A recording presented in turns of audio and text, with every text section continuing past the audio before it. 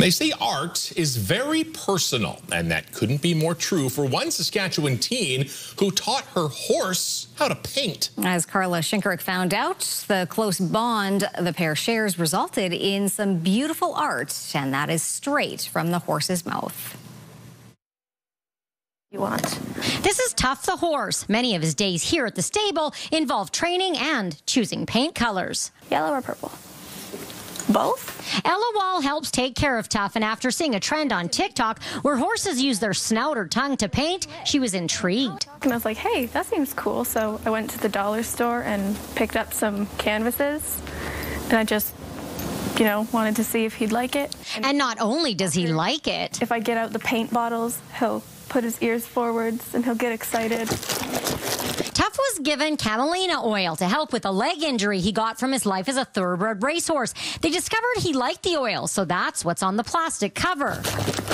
The bond that these two share is very unique. Wall has Tourette's syndrome. Sometimes she can't well, speak. Usually he's the one that gets me to talk again there's just something that switches when I see him. He has a very unique personality, according to the stable owner, which may contribute yeah. to his artistry. He's very um, obvious when he likes and doesn't like something. He'll paw, he'll bob his head, he'll do this lip thing. The lip will just vibrate, and he'll do kind of weird, quirky things. So Tuff's works of art are for sale on his Facebook page for 25 and $50, and all money raised goes right back to Tuff's care. And we put it into a bank account for him, so if he needs a chiropractor or another joint injection, he can get that right away.